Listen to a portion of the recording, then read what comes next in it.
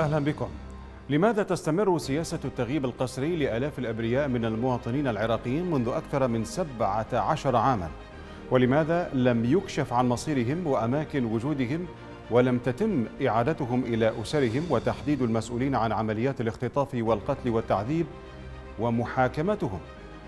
ألا يعد الإخفاء القسري أحد أركان جريمة الإبادة الجماعية التي تستوجب محاكمات دولية؟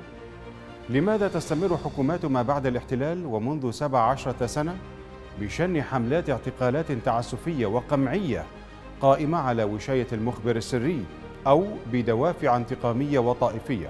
فضلا عن اعتقالات عشوائية وعمليات اختطاف طالت عشرات الآلاف من المدنيين خلال العمليات العسكرية واقتحام المدن. ذوو المعتقلين تظاهروا في بغداد من أجل إطلاق سراح أبنائهم المعتقلين في السجون الحكومية والذين يعيشون ظروفا إنسانية صعبة بسبب الانتهاكات التي يتعرضون لها في المعتقلات. بينما يشكو ذوو المعتقلين أيضا من تعرضهم للابتزاز من أجل السماح بزيارة أبنائهم وكذلك يعبرون عن معاناتهم بسبب فقدان أبنائهم بتهم باطلة. في حين أن رئيس الوزراء الكاظمي يستقبل عددا من عوائل المغيبين قسرا ويكتفي بالتعاطف معهم بينما استنكرت اللجنة العليا للميثاق الوطني العراقي جرائم الإخفاء القسري المتواصلة منذ 17 سنة محملة الحكومات المتعاقبة بعد الاحتلال وأحزابها المسؤولية الكاملة عن هذه الجرائم. وكذلك الانتهاكات التي تمارس بتواطؤ وتنسيق بين الميليشيات والقوات الحكومية. من جهتها أيضا جددت اللجنة الدولية للصليب الأحمر دعوتها للكشف عن مصير آلاف المغيبين في العراق. مشاهدينا الكرام نسلط الضوء في هذه الحلقة على أسباب استمرار التغييب القسري في العراق وتداعياته والموقف الدولي منه. نشاهد أولا هذا التقرير.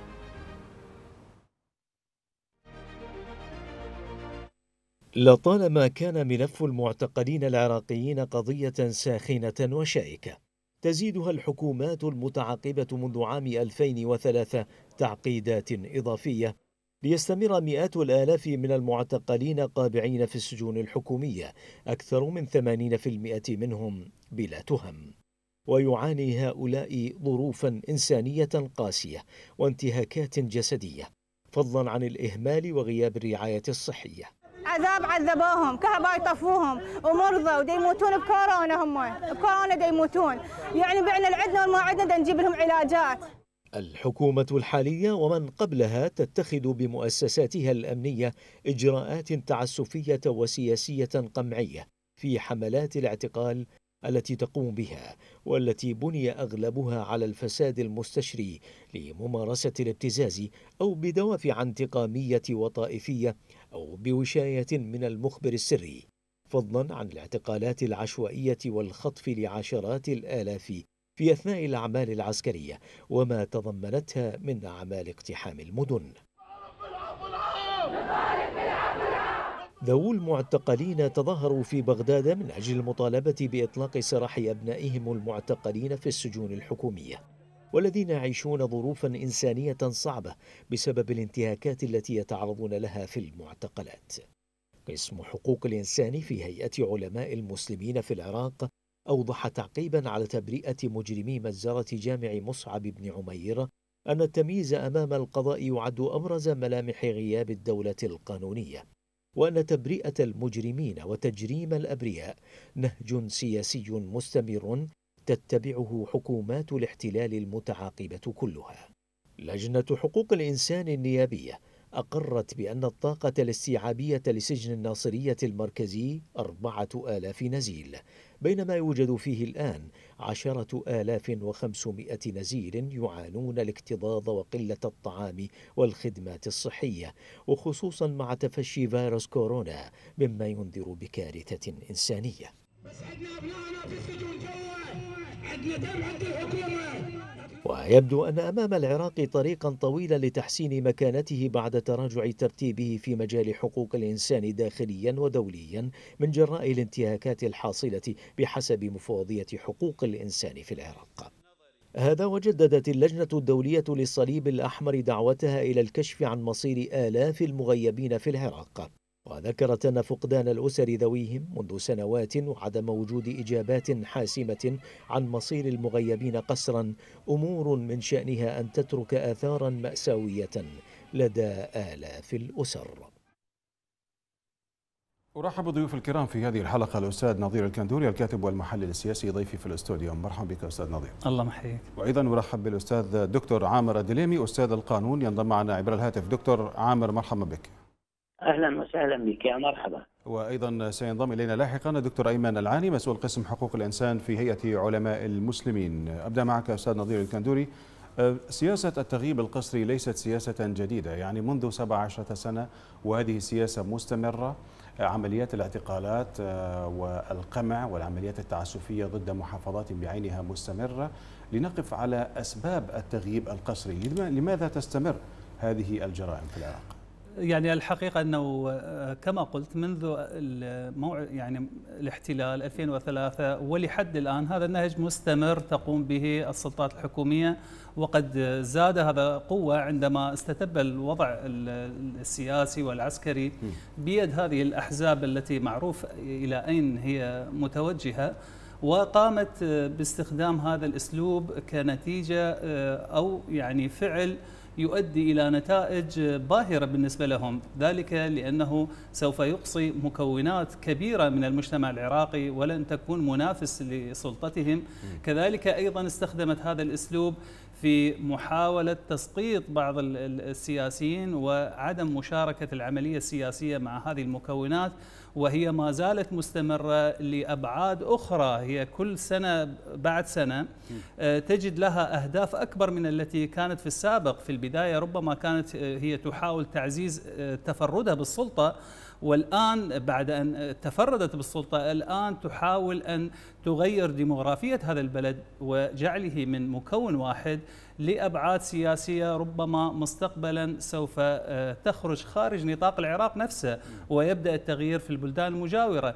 لذلك هذه السلطة الحاكمة ومهما كانت المناشدات أو الضغوطات لتغيير هذا النهج هي لن يعني لن تتركه وسوف تحاول أن تستمر به لأنه بالنسبة لها قد أفرز نتائج باهرة لتعزيز سلطتهم وتغيير الطبيعة الديموغرافية لهذا البلد أو البلدان المجاورة. وهذا كله يساهم في آه، الأجندة التي ترسمها لهم إيران وترسمها للمنطقة وليس للعراق فقط. نعم. دكتور عامر الدليمي أستاذ القانون أرحب بك مرة أخرى. لنتعرف على التغييب القسري وكيف ينظر القانون الدولي إلى جرائم التغييب القسري في العراق. طيب. في البداية أقول أن احتلال العراق باطل وكل ما يترتب عليه باطل وفقا للقانون الدولي فالاحتلال ارتكب مخالفات كثيرة بحق الشعب العراقي في مصادرة حريته في عمليات لا قانونية وانتهاك للحقوق والإنسانية وحتى للقانون الدولي والقانون الدولي الإنساني.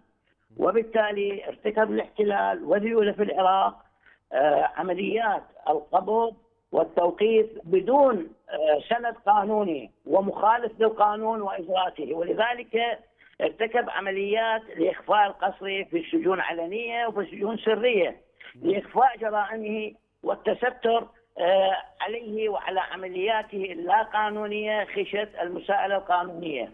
والحقيقة هذه العمليات اللا قانونيه اللا انسانيه التي ارتكبها الاحتلال وذيوله نستطيع أن نوصفها بأنها جرائم إبادة جماعية وجرائم ضد الإنسانية. ويفترض أن يكون هناك متابعة متابعة قانونية إنسانية ليس فقط من الرأي العام العراقي ونعرف أن الرأي العام العراقي ضعيف في هذه المسألة. ولكن يفترض أن يتبناها الرأي العام العالمي الذي ينشد إلى السلم والأمن وينشد إلى استقرار الشعوب وأيضا مبادره الفوضى ومبادره جلب حقوق الإنسان. وهذا الموضوع بالنسبة للقانون الدولي كما قلت أنه جرائم توصف بانها جرائم اباده جماعية وجرائم ضد الانسانيه ويفترض أن كل شخص أي شخص اسمه أو منصبه أو وظيفته أو مسؤوليته أن يحال للمحكمه الجنائية الدولية وفقا للاختصاص. وفقا لاختصاص المحكمة الجنائية الدولية تنظر بالجرائم الخطرة بالجرائم الاباده الجماعية بالجرائم ضد الإنسانية لأنه هذه الجرائم آه، تقصد آه، انهاك جماعة أو آه، انهاك جماعة انهاكا كليا أو أو جزئيا يعني نعم. يعني أنه التعرض لجماعة لأسباب قد تكون طائفية عنصرية ثأريه تاريخية إلى آخره طيب. فاذا على المحكمة الجنائية الدولية أن تتولى هذا الموضوع وأن آه، يصار إلى كل شخص ارتكب أو نفذ نعم. أو اشترك سنتحدث في هذه النقطة دكتور عامر. اسمح لي فقط. الجنائية الدولية نعم. وفق المادة 5 و6 و7 من قانون المحكمة الجنائية الدولية النظام الأساس روما نعم سنتحدث أيضا عن الإطار القانوني الذي يضع حدا لهذه الجرائم التي ترتكب في العراق آه، ضد محافظات بعينها وأبناء هذه المحافظات أيضا في نقطة أخرى أو محور آخر دكتور عامر آه، إليك أستاذ نظير كندوري يعني رئيس الوزراء آه، الكاظمي يقول باستقباله عددا من العوائل من محافظتي صلاح الدين والأنبار وأيضا من مدينة الصدر في العاصمة بغداد ممن غيب أبنائهم قسرا تحدث إلى هذه العوائل على أن هذه الممارسات هي غير قانونية أيضا وكان مستمع لهم ويتحدث آه، بأن هذه الممارسات مرفوضة سواء كانت يعني أسبابها طائفية أو أسبابها سياسية. ولكن ألم يشغل هو منصب آه، يعني رئاسة جهاز المخابرات في العراق ويعلم الشاردة والواردة ويعلم الجهات التي تقوم بعمليات آه، الخطف والتغييب القسري في العراق؟ يعني لماذا يخاطب آه، هذه العوائل وكأنه يسمع بأمر المغيبين قسرا لأول مرة؟ هو هذا الغريب يعني المس- المستغرب من إنه رئيس وزراء وكان مدير مخابرات سابق يتصرف آه، يعني وهو يستمع إلى قصص ال- العوائل آه، هؤلاء المغيبين وكأنها آه، كأنه يسمعها لأول مرة ويبدي اهتمامه ويبدي تعاطفه. يعني أنا أعتقد إن هذا هو أسلوب لمحاولة آه، جعل فد هالة أو آه، رصيد شعبي أو تعاطف شعبي معه على أن هذا أكبر مسؤول سياسي في البلد هو يتعاطف مع المغيبين. والمختفين قسريا ويحاول أن يعني يبيع لهم الكلام فقط وليس هناك أي نتيجة يعني فقط نسمع بها في اليوم العالمي أو الدولي نعم. للمغيبين قسريا، يعني هل هو نوع من امتصاص الغضب ربما لهذه العوائل؟ المشروع مشروع الاختطاف والقتل والتعسف هو مستمر في العراق وهذه الجرائم تسويف مستمرة. أيضا تسويف يعني وعود بلا بلا أي تحرك يعني أنا أعطيك مثل آخر نعم. هو في بداية تسلمه لمنصب آه، يعني رئاسه رئيس الوزراء نعم. ذهب إلى وزارة الداخلية وأمر وزارة الداخلية بأنه يولون هذا الملف ملف المغيبين الاهتمام الكافي وتشكيل لجنة لمعرفة آه، مصيرهم وتقديم يعني مقررات ونتائج لهذه اللجان وخول هذه اللجان بالدخول لكل ال- السجون والسجون السرية. هذا الكلام منذ متى؟ يعني منذ تسلمه يعني منذ أكثر من ثلاثة أشهر. ومع ذلك لم نرى أي نتائج لهذه اللجان ولم ينصف أي آه، يعني مغيب. بل بالعكس ظهرت النتائج بأن هؤلاء المغيبين لبعض الأسماء إنه قالوا إنه بعض الجهات السياسية رفعت أسماء بعض المغيبين. قالوا إن هؤلاء بعضهم إرهابيين قد تم حكمهم وهم الآن يقضون أحكامهم وبعضهم قد هربوا من السجن والبعض الآخر لا نعلم عنه شيء. هذه كانت النتائج. هذا ضحك على الذقون. يعني الحقيقة إن يعني آه، هذا مصطفى الكاظمي لم يغير آه، آه، النهج الذي مارسه رؤساء الوزراء السابقين من قبله إلا ب- بحسن الكلام وبيع الكلام للناس والتسويف في هذه الأمور، لم يقدم أي شيء، بالرغم من أنه الآن كثير من الناس تعتقد أنه سوف يكون يعني جزء من الحل وهو سوف يحسم الكثير من الملفات ولكن لحد الآن أرني ملف واحد قد حسمه يعني ليس فقط ملف المغيبين إنما ملف هذه الميليشيات آه، التي سائبة في الشوارع تقتل الناس كالكلاب المسعورة طيب. لم يفعل أمامها شيء طبعاً. يعني ماذا تتوقع أن يكون آه، أن يفعل يعني من أجل قضية الكثير المغيبين من المنظمات والكثير من القوى المناهضة للاحتلال والعملية السياسية يعني دانت عمليات أو استمرار جرائم التغييب القسري في العراق. اللجنة العليا للميثاق الوطني أصدرت بيانا آه، بمناسبة اليوم الدولي للمغيبين والمخفيين قسرا. البيان رقم 54 بعنوان المغيبون العراقيون ضحايا الصمت الدولي والتواطؤ الحكومي. ذكرت في هذا البيان أنه ما زال مصير أكثر من 25 ألف عراقي مجهولا منذ العام 2014 على الرغم من مطالبات المنظمات الدولية والمحلية والتظاهرات الجماهيرية بمعرفة مصيرهم إلا أن السلطات الحكومية تتعمد عدم البحث عن المغيبين وإهمال ملفهم الذي تسبب بضياع وشتات ذوي الضحايا. ولم يكن لهذه الجريمة أن تستمر لولا صمت المجتمع الدولي عنها وتستر بعثة الأمم المتحدة في العراق ينامي على ما يجري من إخفاء قسري في العراق بعدم تضمينها في إحاطتها الدورية الأخيرة لمجلس الأمن التي خلت من ذكر مصير آلاف المغيبين قسرا من محافظات الأنبار وصلاح الدين والموصل وغيرها على يد الميليشيات الإرهابية. واستنكرت اللجنة العليا للميثاق الوطني العراقي ودانت جريمة الإخفاء القسري محملة الحكومات المتعاقبة وأحزابها في العراق المسؤولية الكاملة عن هذه الجرائم التي تمارس بتواطؤ وتنسيق مفضوح بين الميليشيات والقوات الحكومية ودعت المنظمات الدولية للخروج عن صمتها والإيفاء بالتزاماتها الإنسانية واتخاذ الإجراءات الجادة للكشف عن مصير المغيبين خاصة بعد العثور على مقابر جماعية في أماكن تسيطر عليها القوات الحكومية والميليشيات المسلحة. هذا ما جاء في البيان الذي أصدرته اللجنة العليا للميثاق آه، الوطني بمناسبة اليوم الدولي للمغيبين قسرا. أعود إليك دكتور عامر مرة أخرى.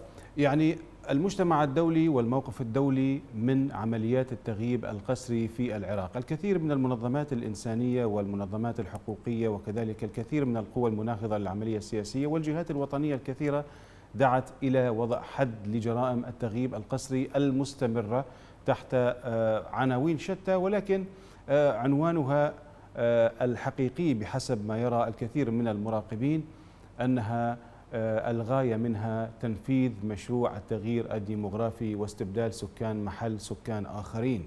بغية أهداف إقليمية. يعني الآن لو تحدثنا مثلا عن بعثة الأمم المتحدة يونامي دعت إلى التحقيق في جرائم التغييب القسري في آه، العراق والإخفاء القسري للمدنيين في آه، محافظات العراق منها محافظة الأنبار. ولكن كيف تقيم يعني ردود الفعل الدولية تجاه كل هذه الدعوات. نعم. فعلا هناك عدة دعوات. من اللجنة الصليب الأحمر يعني اللجنة الدولية للصليب الأحمر نعم.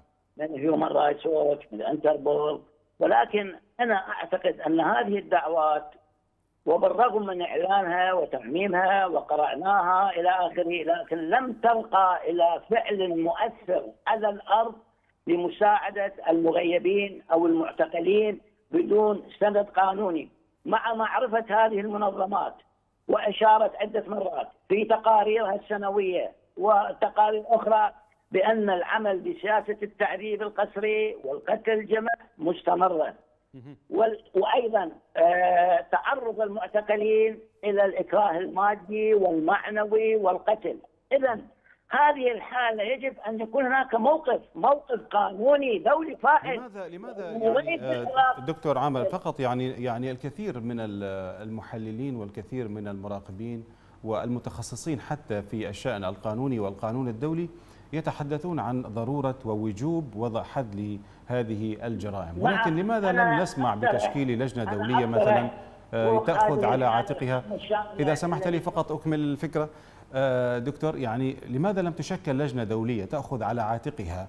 يعني تسليم المسؤولين عن عمليات الخطف والاختطاف والتغييب القسري. هذه اللجان الدولية لماذا لا تشكل؟ فقط نسمع تقارير من الصليب الأحمر وأيضا تقارير من آه، بعثة الأمم المتحدة والكثير من المنظمات. نعم نعم. أنا هذه الحالات اللي مرت في العراق مرت في دول وشعوب كثيرة. وأنا هذه الحالة كما أنت قلت وضيفك الكريم قال أنه مستمرة سياسة التعذيب وسياسة النقام والتهميش وأيضا التغييب القسري والسجون السرية والعلنية ولكن أنا أنا من خلال قناتكم المحترمة أدعو أقترح أن يكون هناك تدخل دولي إنساني دولي لإنقاذ الشعب العراقي من محنته الحالية من الكارثة التي تمر عليها عليه. وكما كان هناك تدخل دولي في دولة يوغوسلافيا لإنقاذ الشعب العراقي البريء الذي لم يرتكب جريمه وما زال مغيب في السجون وما زال يتعرض إلى التعذيب المادي والمعنوي والإكراه إلى آخره، لأن سياسه القتل والتغييب أصبحت سياسة ممنهجة من قبل أعوان الاحتلال. ولغاية غاية أنه هناك هدف آخر مثل ما يعني تغيير الديموغرافي انه الانتقام لأسباب تاريخية ثانية إلى آخره طيب. فهي المسألة أنا أدعو إلى أن يكون تدخل دولي إنساني كما تدخل في كما صار تدخل في يوغوسلافيا أو غيرها لانقاذ الشعب العراقي من هذا المحنة وإلا سوف تستمر المحنة طيب. والمحن أكثر فأكثر وأكثر معي دكتور هناك دور نعم. ناس من عصابات اجراميه تنظيمات اجراميه مسلحة خارج نعم. القانون يجب أن نعالج هذه الحالة. طيب. نعالج هذه الحالة بدعم دولي إنساني فعلي إلى العراق. اسمح لي دكتور عامر سأعود اليك مرة أخرى لو سمحت فقط في هذه النقطة وهي نقطة مهمة جدا. يعني لنتحدث عن موضوع المجتمع الدولي أستاذ نظير آه، وتفرجه على ما يجري من جرائم ترتكب في العراق جرائم التغييب القسري. يعني هو المجتمع الدولي يدعو إلى إجراء آه، تحقيقات في سبيل الكشف عن ملابسات هذه الجرائم. مثلا الأمين العام للأمم المتحدة أنطونيو غوتيريس يتحدث عن ضرورة يعني هو دعا إلى ضرورة إجراء تحقيقات آه، ذات مصداقية للكشف عن مصير المغيبين قسرا في العراق. لم نفهم ذلك. المجتمع الدولي هل آه، من واجبه أن يدعو إلى إجراء تحقيقات أم أنه شكل هذا المجتمع؟ من أجل أنه متابعة هذه الدول التي لا تطبق آه، قانون حقوق الإنسان أو لا يطبق قانون حقوق الإنسان فيها من أجل المتابعة تشكيل لجان دولية مثلا يعني من الناحية السياسية كيف تنظر إلى الأمر؟ يعني في بالذات في الموضوع المآسي التي تحدث على الشعب العراقي والله أقول إن هذه المنظمات الدولية وما يسمى بالمجتمع الدولي. هو شاهد زور على هذه الجرائم التي ترتكب في العراق. يعني لم نسمع من عندهم غير آه، يعني الأرقام والتعاطف والدعوة لتشكيل طيب، اللجان يعني ولم يعني يفعلوا شيء. يعني رئيس الوزراء يتعاطف الجميع يعني يتعاطف ولكن لم نرى شيء. الأمين العام للأمم المتحدة يتعاطف. الرئيس الأمريكي يتعاطف. الرئيس الإيراني يتعاطف. كلهم متعاطفين. كلهم متعاطفين لكن ولكن لا الجرائم مستمرة. مستمرة بحق الشعب العراقي. بل أزيدك من هذا الأمر. اللجنة الدولية للمفقودين وهي لجنة يعني من اسمها دولية تقول أن منذ 2003 يعني منذ بداية تاريخ الاحتلال يقدر عدد المفقودين والمغيبين قسرا من 250 ألف إلى مليون شخص. تتخيل الرقم؟ يعني ربما هذا تعداد شعب كامل من الشعب من الدول يعني. هذا نتيجة تعاطف هؤلاء صح؟ ومع ذلك تجد أنه لا لا توجد أي دولة تحرك ساكن. بينما بينما عندما يريدون يعني هو هذا الميزان الدولي انتقائي وغير متوازن. هذا الميزان بيد بيد من؟ يعني التعامل هنا المشكلة. التعامل بهذه بهذه الدرجة من التناقض. يعني هل هذا يعني أن السياسة هي التي تحكم القانون الدولي؟ هذا بالضبط هو هذا الوصف الصحيح يعني لا توجد منظمات مستقلة ولا لا تتكلم عن الأمم المتحدة كأنها هيئة مستقلة تمثل شعوب العالم، بالحقيقة هذه منظمات تدار من القوى الكبرى وبالذات من الولايات المتحدة، نحن نتعامل الآن مع احتلال الولايات المتحدة للعراق، وما تلاه من احتلال إيراني وانتشار لهذه الميليشيات الإجرامية وكل هذه المآسي التي نراها في العراق هي مفرزات للاحتلال الإيراني. وبالتالي فإن أي انتقاد للتجربة بين قوسين الديمقراطية التي حدثت في العراق وكأنما أنت تنتقد الولايات المتحدة وهي بالتالي لا تسمح لأي انتقاد ولتشكيل أي لجنة دولية للتحقيق بالجرائم التي كانت بالأصل هي وحدة من مفرزات الاحتلال الأمريكي. يعني بالله عليك قبل الاحتلال هل كان يتجرأ مجموعة من القتلة والسراق الاعتداء على المواطنين ويعملون هذا التغيير الديمغرافي وتهديم حواضر مدن كاملة؟ ما كانوا يستطيعون أن يفعلوا ذلك إلا بعد الاحتلال الأمريكي. بمعنى أن كل الجرائم هذه ربما يعني نستطيع أن نقول بنسبة 99% يتحمل مسؤوليتها الاحتلال الأمريكي. وبالتالي فإن عقد أي لجنة دولية أو أي تعاطف دولي ممكن يترجم إلى خطوات عملية سيكون بالنتيجة هو ضد الولايات المتحدة، لذلك مصيبتنا الآن هي مع الولايات المتحدة، الآن هي الولايات المتحدة حاليا يعني تتعاطف أيضا مع مصطفى الكاظمي في هذه النقطة عمليات التغييب القسري نتجت عنها الكثير من الشواهد منها المقابر الجماعية التي. كشفت مثلا في الأنبار. وغيرها من المقابر وأيضا السجون السرية التي لا يعلم أحدا هي هي أين مكانها أين. ولا آه، ولا صدر أي آه، أصدرت أي جهة أي عنوان عن سجن سري سوى المعلومات التي جاءت قبل سنين. وإلى الآن لم يعثر على أي شخص مخطوف في العراق متواجد في سجون والله يعلمها. والله هذا الكلام ليس دقيق. ال- السجون السرية معلومة والجميع يعرف أين هذه الميليشيات تحتجز هؤلاء. يعني- يعني و- رئيس- وم- رئيس عفوا بس فقط اريد المكان. خدمك بهذه الأمر. مصطفى الكاظمي يعني بطريقة المراوغة ويجعل من نفسه كالحمل ال- ال- البريء يقول من يدلني على سجن سري سوف يعني أخذ قوة وأذهب إلى ذاك السجن لا يعرف. فماذا غرد لا يعرف. ماذا يعني يدعي يدعي إنه لا السابق. يعرف آه، آه، ماذا آه، أجابه آه، السفير البريطاني؟ قال يعني يا مصطفى إذا كنت لا تعلم فإذا آه، إذا تحب أنا يعني أدليك على هذه السجون. بمعنى أن هذه السجون معلومة سواء للدول ال- الغربية أو للمواطنين العراقيين ويعرفون أين مغيبين آه، يعني آه، آه، أولادهم. لكن من يستطيع أن يتكلم؟ هل تستطيع نعم. الميليشيات أن آه، يعني هل تستطيع يستطيع مصطفى الكاظمي أن يأمر هذه الميليشيات بفك اسر هؤلاء المغيبين. الأمر آه، يعني آه، كله بيد هذه الميليشيات ال- ال- الطائفية. اسمح لي أستاذ نظير انضم إلينا الآن دكتور أيمن العاني مسؤول قسم حقوق الإنسان في هيئة علماء المسلمين عبر سكايب. دكتور أيمن مرحبا بك. حياك الله أخي الكريم وتحية لك وللمشاهدين الكرام. أه، دكتور أيمن يعني جرائم التغييب القسري مستمرة منذ أكثر من 17 سنة في العراق. الكثير من المنظمات الدولية تتحدث عن ضرورة وضع حد لهذه الجرائم. الكثير من الأرقام تحدثت عن أكثر من 25 ألف مفقود ومغيب قسريا في العراق بسبب العمليات العسكرية التي حدثت تحت عنوان محاربة داعش أو آه، بسبب المخبر السري أو بسبب حملات انتقامية أو طائفية. آه، يعني من وجهة نظركم جرائم التغييب القسري من المستفيد منها آه، دوليا أو إقليميا؟ أخي الكريم آه، تحية مرة ثانية لجنابك وللمشاهدين الكرام. حياكم الله التغييب القسري آه، طرف من أطرافه المهمة هو الحكومة الجهة الرسمية. فبالنتيجة نحن أمام آه، آه، انتهاكات يجري تقنينها أو آه، هي تجري وفق قانون غير عادل يتم تطبيقه في البلاد منذ 2003 وحتى اليوم. آه، لدينا آه، طبعا هذا الرقم الذي تحدثت به حضرتك هو تقديرات مع الأسف الشديد. وهذه كلمة تقديرات أضع تحتها خطوط كثيرة. هل تتخيل أنه هنالك جهة رسمية تحترم نفسها تعتد بنفسها؟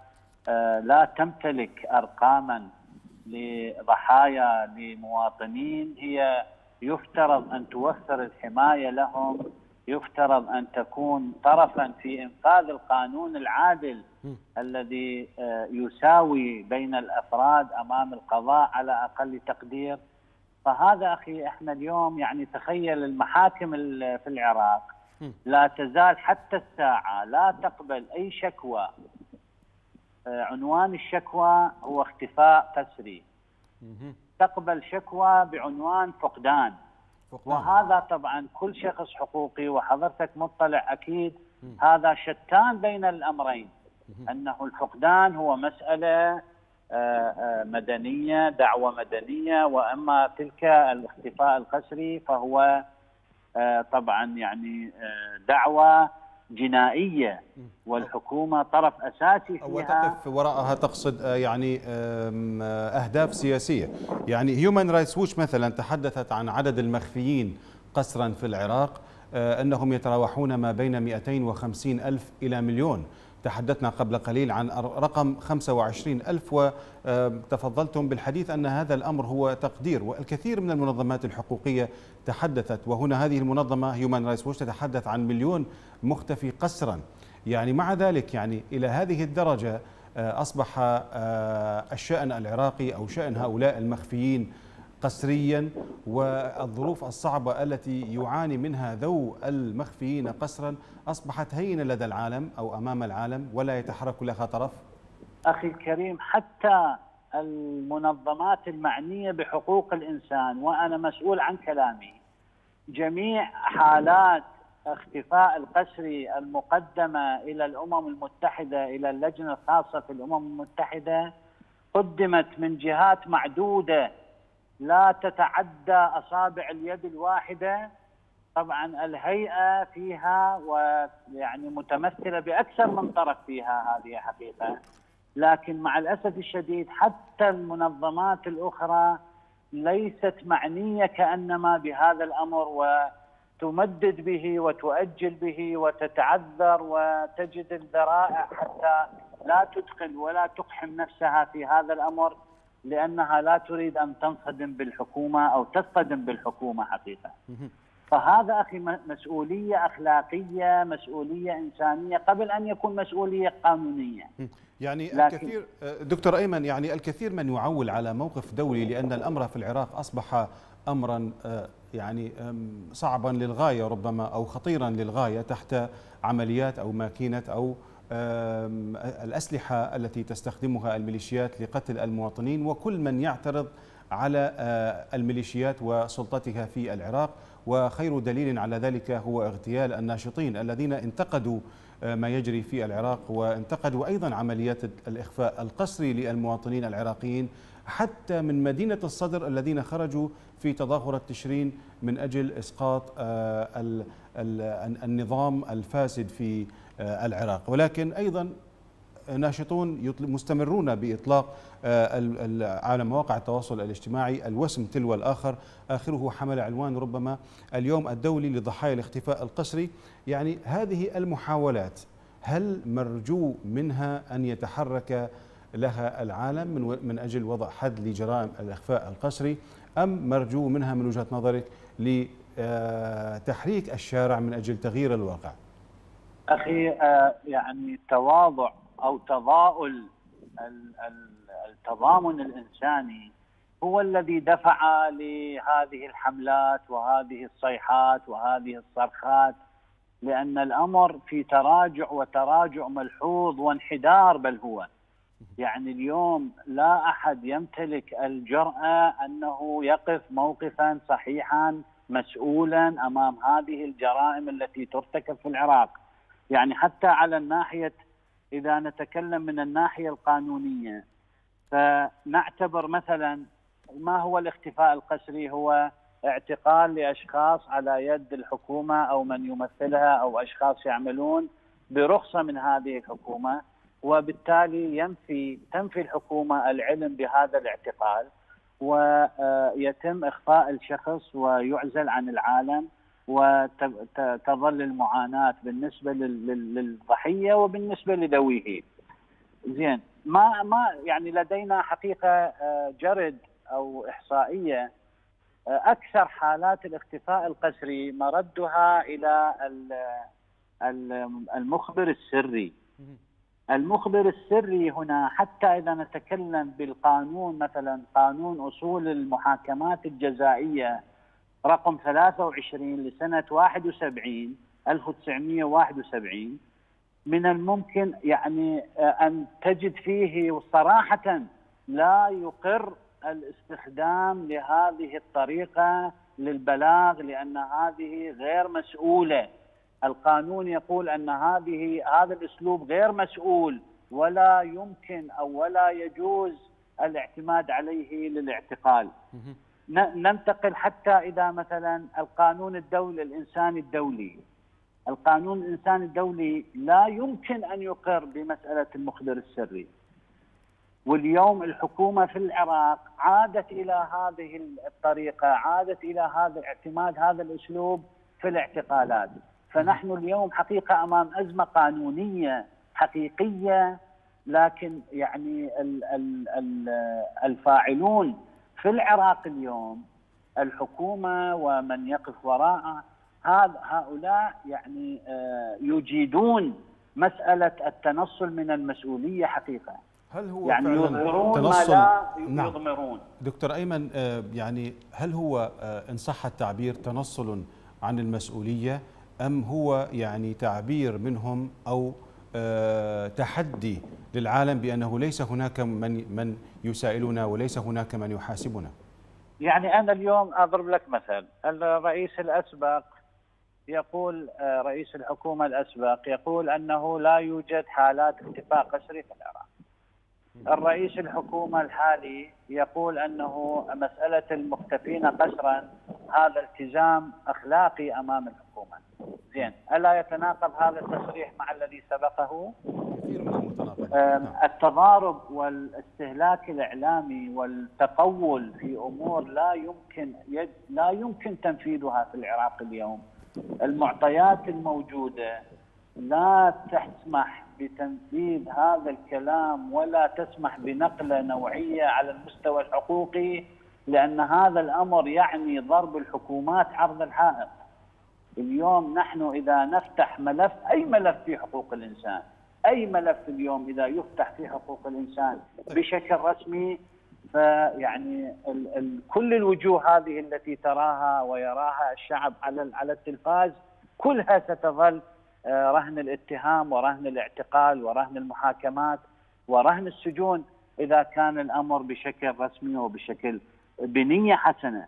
نعم. يعني اليوم لدينا تحقيقات في الاختفاء القسري الذي جرى ويعني كان الضحية فيه آه، آه، آه، متظاهرين سلميين خرجوا للمطالبة بأبسط الحقوق الإنسانية.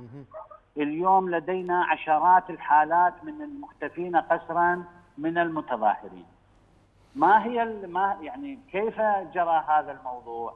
ولجان التحقيق التي التي شكلت وهذه اللجان التي تعد أداة للفساد و يعني الأمر الغريب دكتور لضياع- الأمر الغريب أن يعني رئيس جهاز المخابرات السابق مصطفى الكاظمي ورئيس الوزراء الحالي هو قابل الكثير من العوائل أو بعض العوائل من الذين غيب أبنائهم قسرا وحتى من مدينة الصدر آه، ولكنه تعاطف معهم وقال إن هذه السياسة سياسة التغييب القسري أو آه، الاعتقالات على هذا النحو هي مرفوضة ومهما كانت آه، خلفياتها.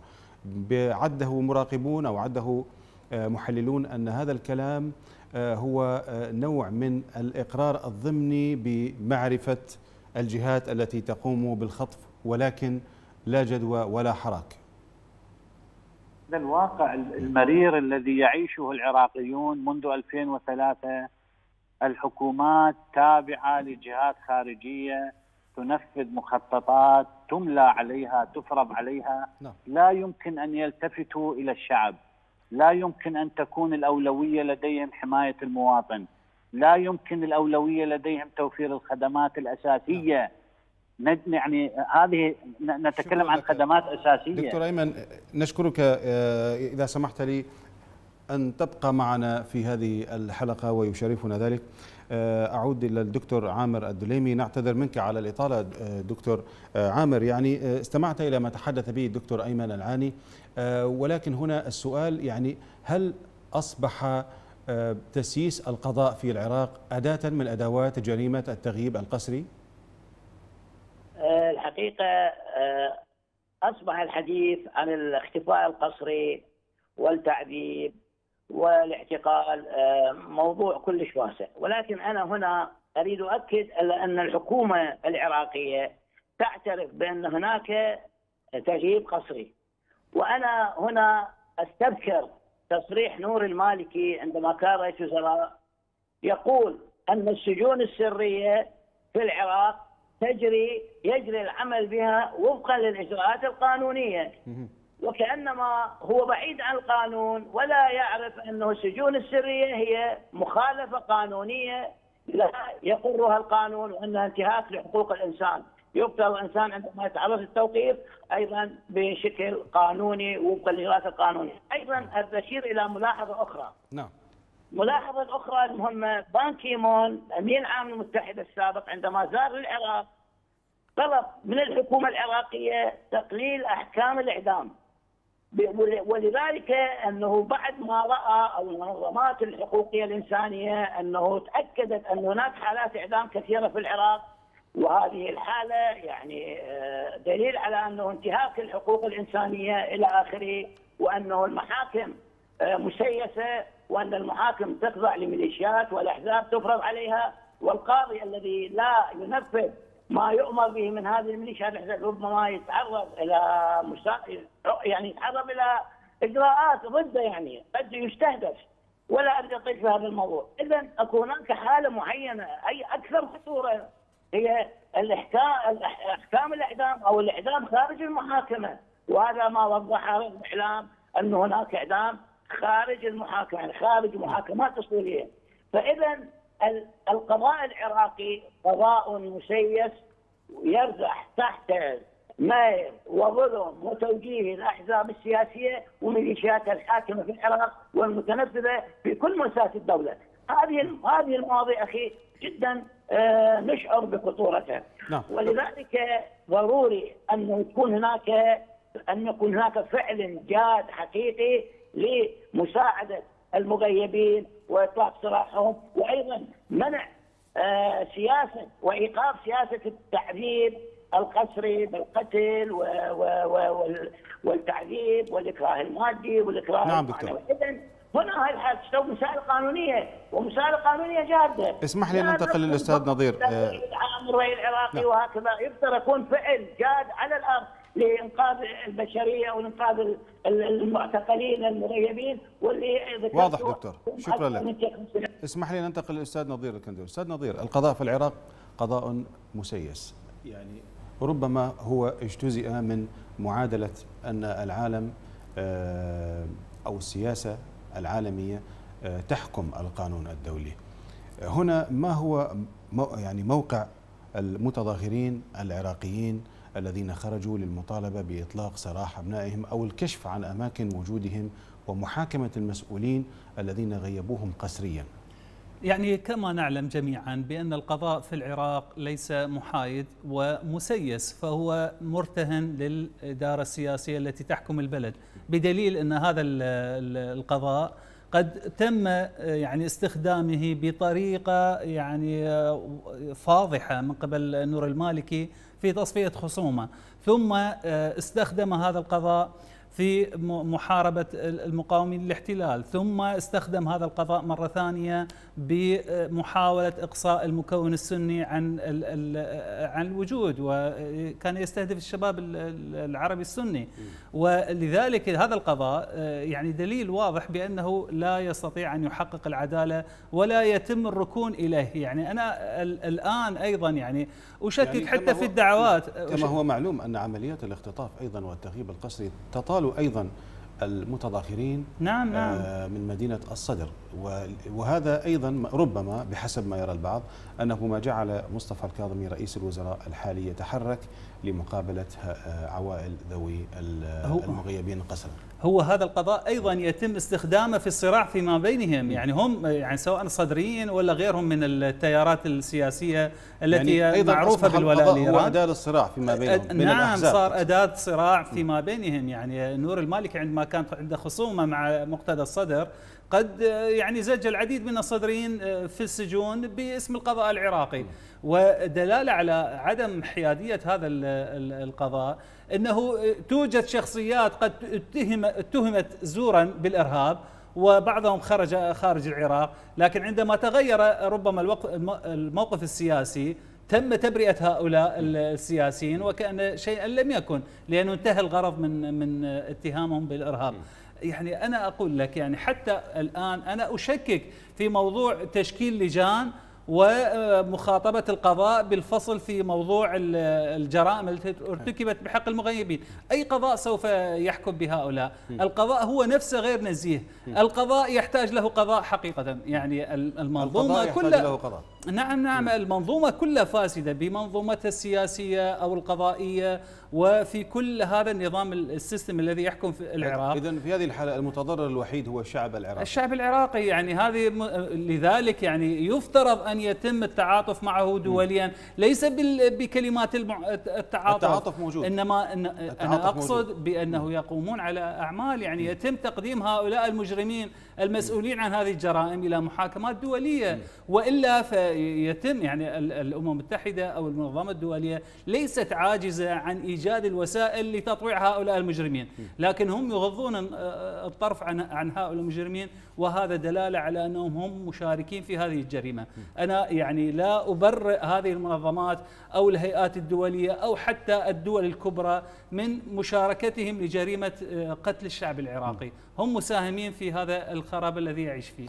دكتور أيمن يعني لم يكشف عن مصير وأماكن وجود المغيبين قسرا في العراق ولكن يعني العالم كله آه، تدخل في موضوع آه، يعني المواطنين القطريين الذين تم اختطافهم في العراق واستطاعت أو لم تستطع آه، إن صح التعبير وإنما قامت القوات الحكومية أو الجهات التي التي كانت موجودة بالكشف عن مصيرهم وإطلاق سراحهم. هنا العالم لماذا يتعامل بمعايير مزدوجة أو معايير متناقضة في العراق؟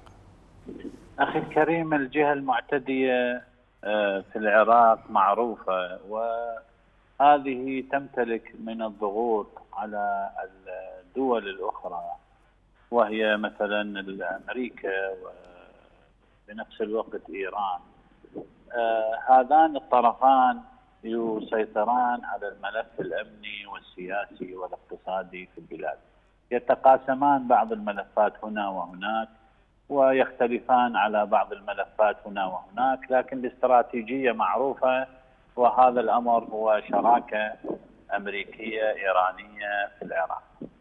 بالنسبة للحالة التي ذكرتها فهي آه، يعني آه، تقع ضمن سياسة دولية خارجية غير متعلقة بما يحصل في العراق من آه، من جرائم وانتهاكات.